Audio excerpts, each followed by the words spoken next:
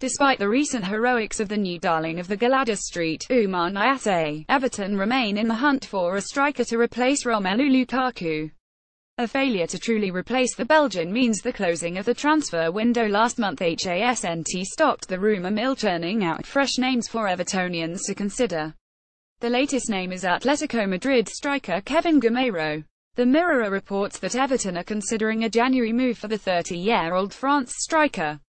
Atletico are already committed to spending in the region of £67 million to bring Diego Costa back from Chelsea at the start of 2018.